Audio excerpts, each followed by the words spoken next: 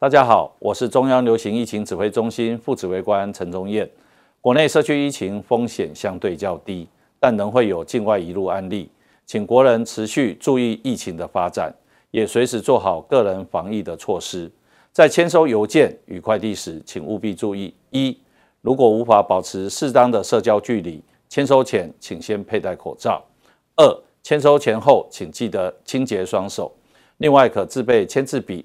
或以印章签收，降低碰触的几率。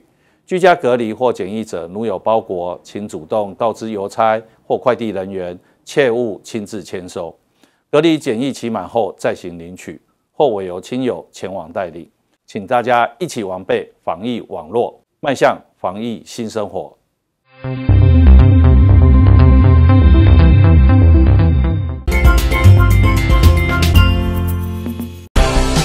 接下来，请收看中嘉新闻。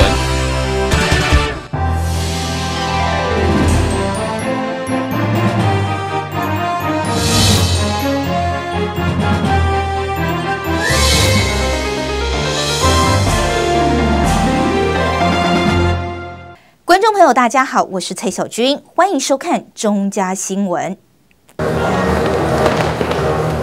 卖力的挥舞大旗，撼动特技团表演高难度的技术，在木板上横躺着圆柱体，就直接站上去。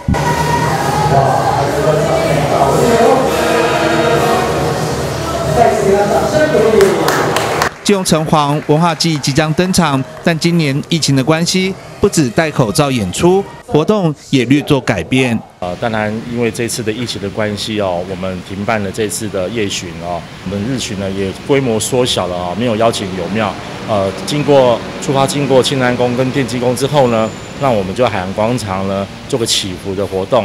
那这祈福活动呢，只邀请了我们屏东潮州城隍庙十二家将哦，还有一些呃呈现的演出哦。至于农历八月十六日、国历十月二日的日巡，则是照常。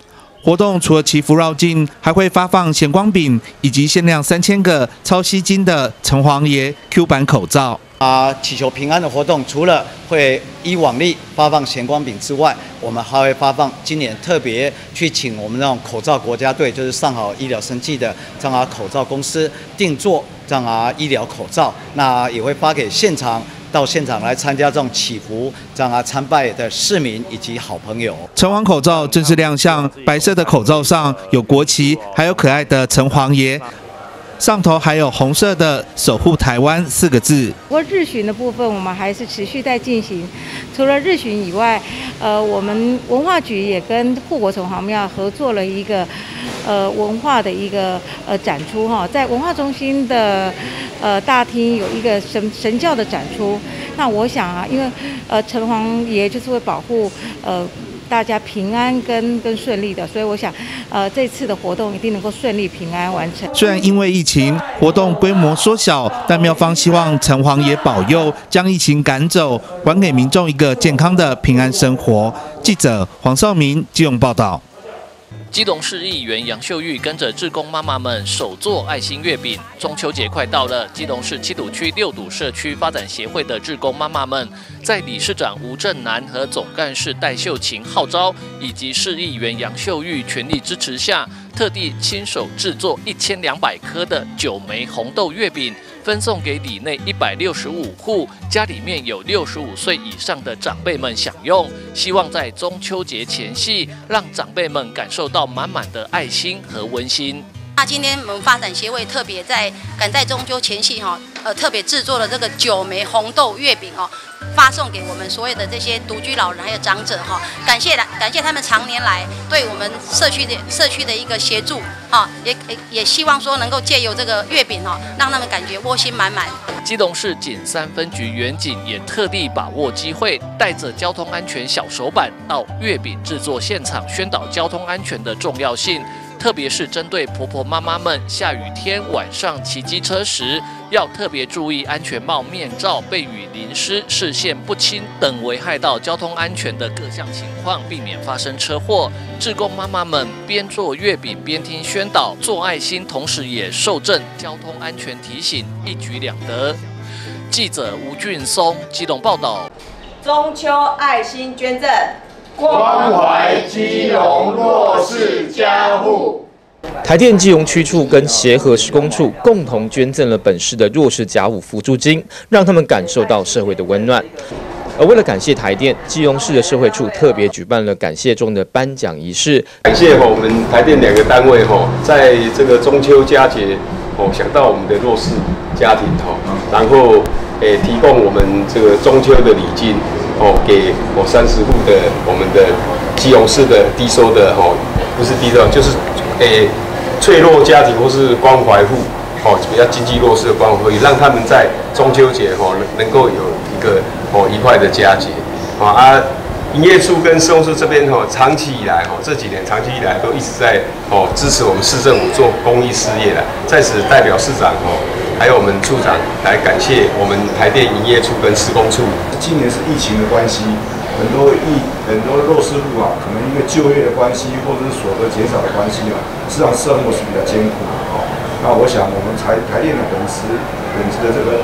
爱心呢，救助到最需要的地方啊，所以这次我们联合我们协和施工处来办。那我想接下来王元巷我们都会去做一些爱心敬老活动。那因为可能有一些呃老人的这个爱爱心教养院啊不方便，但是我们年底啊我们会持续来关注我们弱势的这个家庭。那也希望这个社会包括我们基隆市的社会企业一起来资助抛砖引玉啊！谢谢大家。从去年就开始成立了。那成立以来，我们我们就已经是成为我们基隆市地区的一个在地的一个一份子。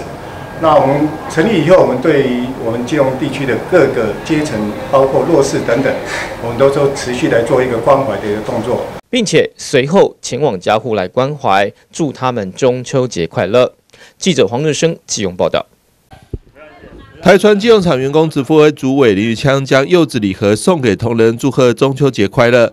跟往年一样，台船金融厂员工支付会持续在中秋节前夕购买金融创世的文丹柚礼盒送给同仁，希望借此帮助金融创世筹措经费，照顾植物人。公益性的东西是继续持续性的，是应该要做的事情，让社会上更了解一下。那希望呼吁这里大大家能够添砖加瓦，大家一起来做这个公益的活动。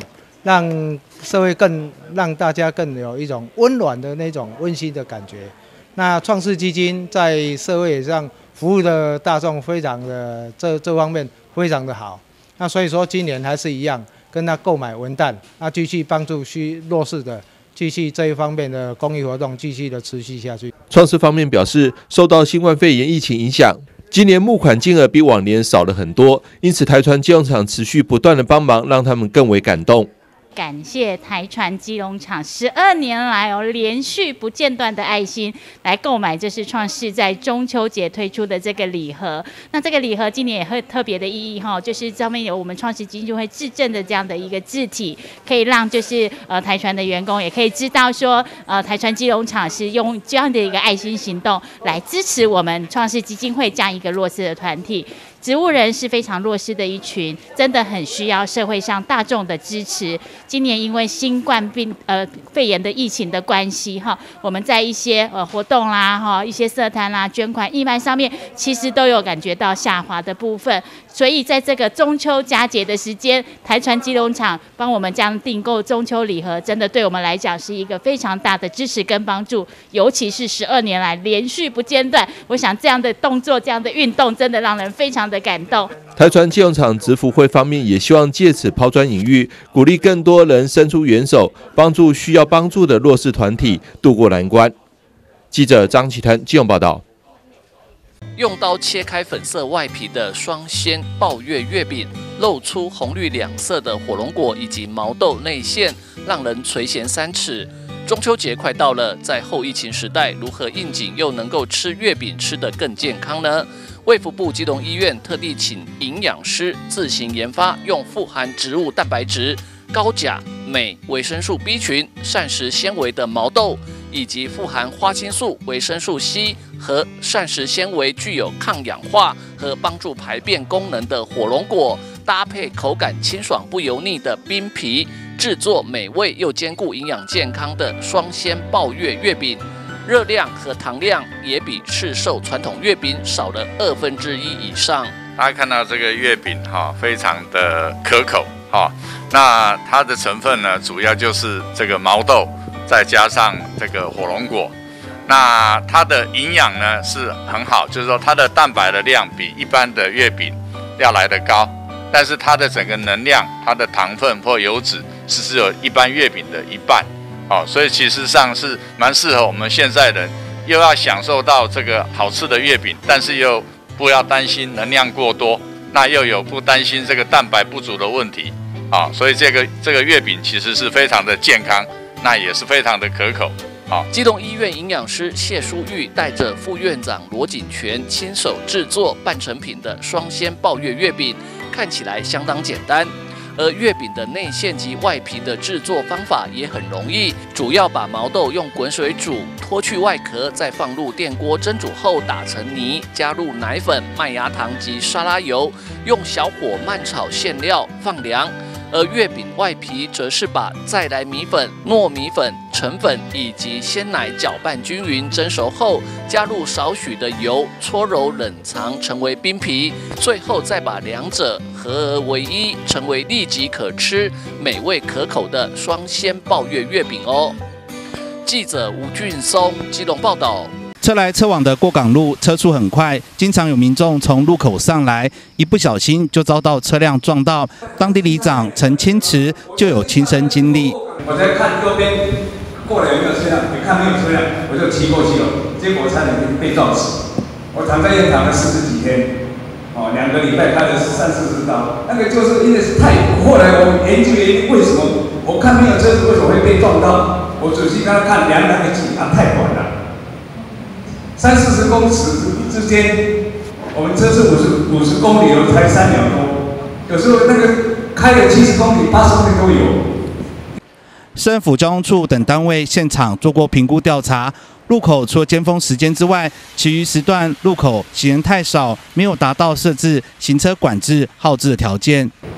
都危险啊！只要是开得快，都危险。所以我们要先慢慢慢慢一个一个人处理。这里的哈，看照明够不够，然后如果是真的是超速的话，这个我们我们要跟旅长、跟警察局来协调一下。然后第二点要跟局长讲哦，你流如果流量少，你让他设一个红绿灯，他开车的话，光路狼行，点灯他都闯红灯，几乎每个地方都这样。如果他停下来有人走的话，哎，他习惯这是有人走的。但是如果他十次九次都没人走了，点都可闯红灯，这个对行人来讲，这个危险性是更高更高啊。此外，在八堵路转往愚园路，行人绿灯秒数只有九秒，因为秒数过短，造成行人险象环生。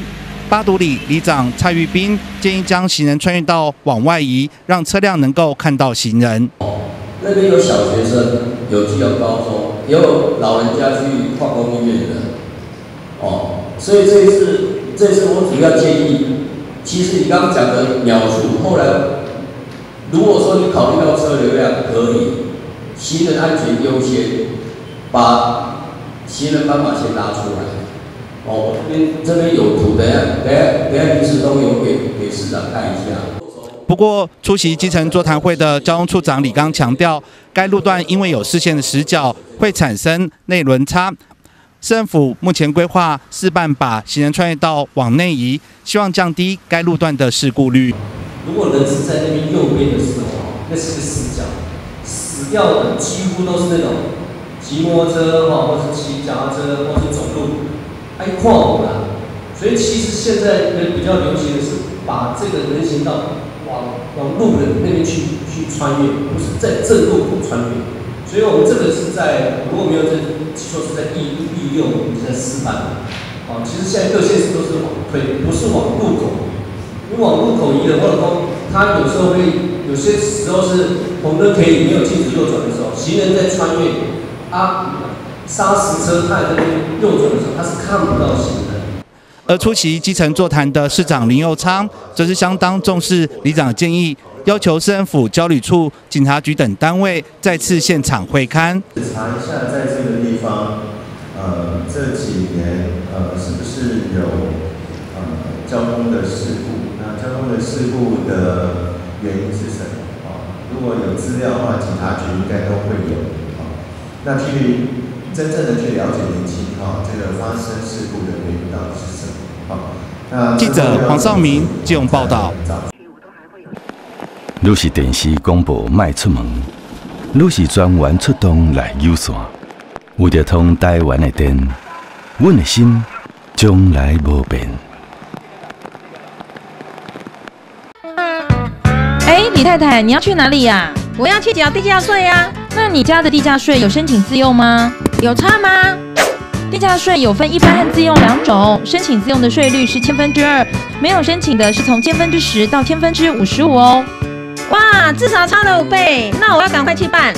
当年自用住宅税率必须在九月二十二号前申请，核准后就不必每年再申请，但是户籍迁出时即不适用。基隆市税务局提醒您：电点亮生活，台电发展智慧电力，友善运用再生能源，配电系统再进化，管理用电更聪明，电网再升级，生活更智慧。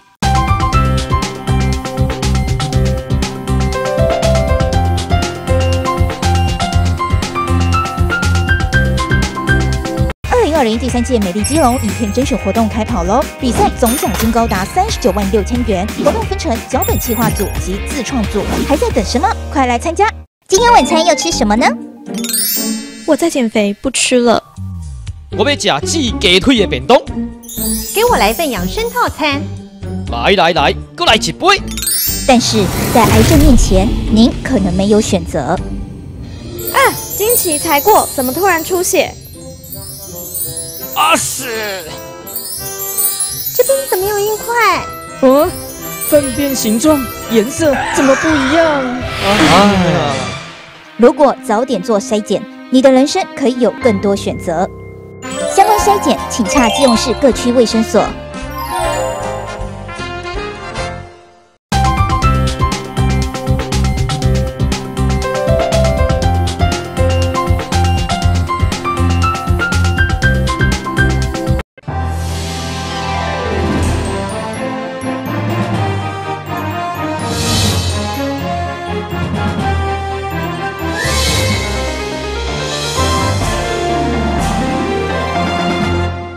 关人员拿着美工刀，将荞麦靠枕一个一个割开来，里面的荞麦骨全都掉出来。不过奇怪的是，竟然还有一个不明的白色包裹。像这样的货就是叫……仔细一看，原来白色包裹里里面是现在很贵的蒜头，包括堆在地上积堆成山的麻布袋里，竟然多达八吨多，数量惊人。因为它是每一个长条形的那个靠枕。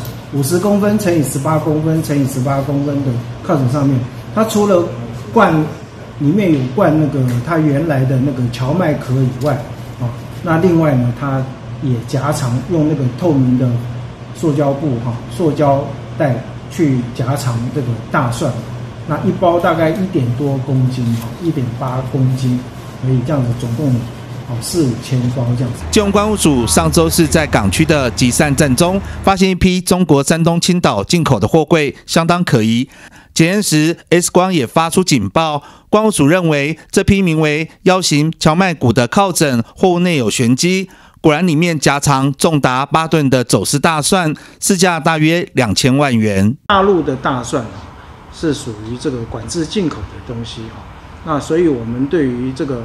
来自大陆地区的农渔畜产品，如果它的这个重量超过一千公斤，或者是价格超过十万块，啊，那像这一类的物品，除了违反海关缉私条例啊，那个会奏行行政处分以外呢，我们还会用那个惩移送那个司法检调机关呢，用惩治走私条例来。做处分。国内近期大蒜飙涨，一公斤落在两百到三百元之间。因中秋节将至，需求大增，更提高了不法业者走私的诱因。为了谋取暴利，铤而走险，却逃不过海关的鹰眼，得为自己的行为付出惨痛代价。记者黄少明借用报道。中秋节将至，月饼纷纷开卖。不过，市售月饼从外皮到内馅多以高油及高糖组成。举例，热卖的广式双黄莲蓉月饼，一颗就要七百九十大卡。为此，台北市卫生局特别邀请北市联合医院营养师制作轻盈月饼，供民众参考。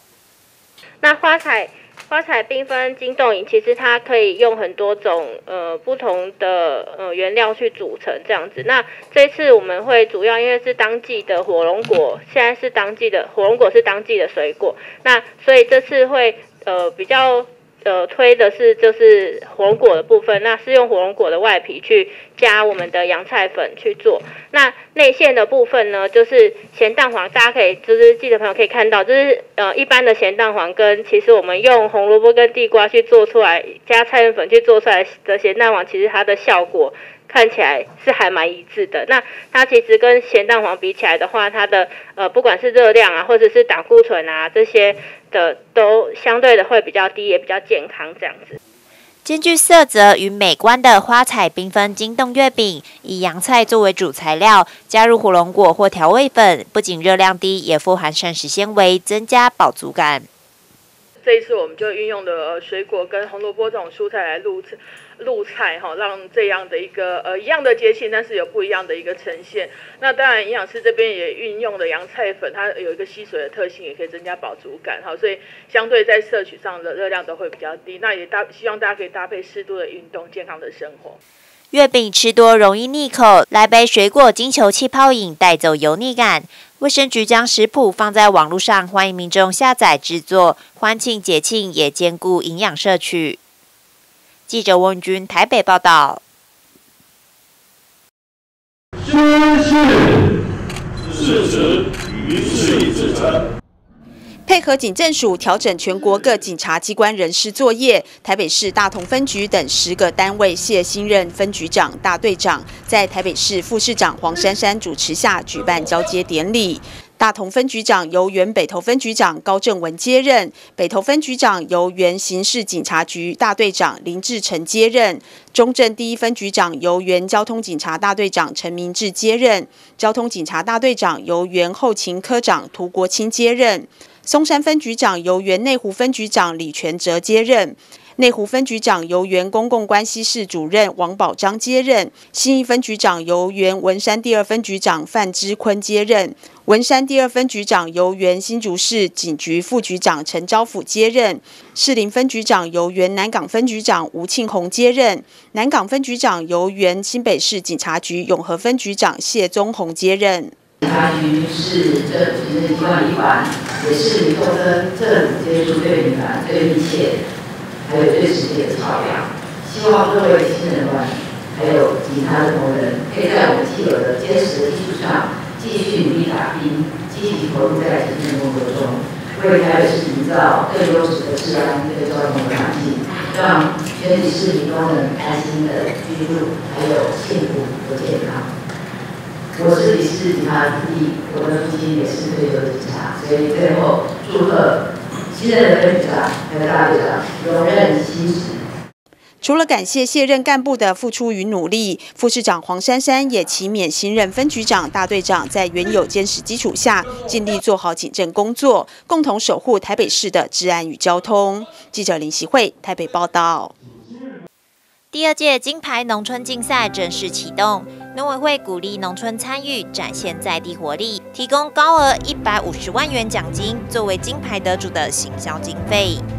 这一次的呃金牌农村的话呢，哦，我想也是一样，秉持着过去的一个啊选举的啊选取的一个方式哦，那我们希望能够选出代表啊我们台湾的农村非常有特色的。这样的一个啊啊代表出来哦，那这个代表里面啊选出来以后呢，哦，我们可以有啊，就是我记得应该是啊五十万的一个奖金，还有一个一百万的一个啊就是行销的这个费用哦，总共是一百五十万的这个啊的的这个费啊经费哈可以来使用。那呃同时呢。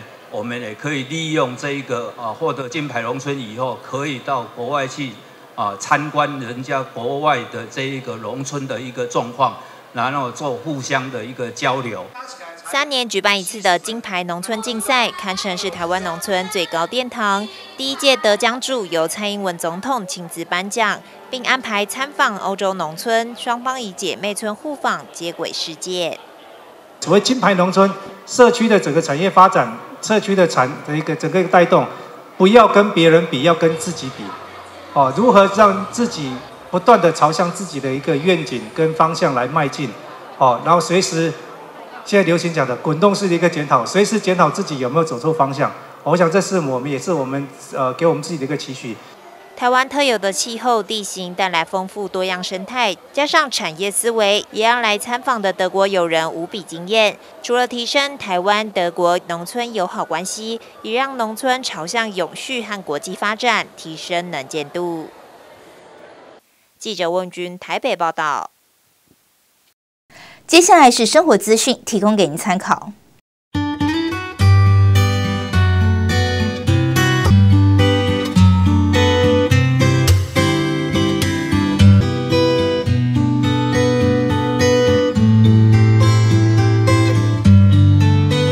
以上就今天的中嘉新闻，也欢迎您到中嘉新闻的脸书按赞，就能及时获得最新的大台北在地新闻。非常感谢您的收看，我是蔡小军，祝您一切平安，我们再会。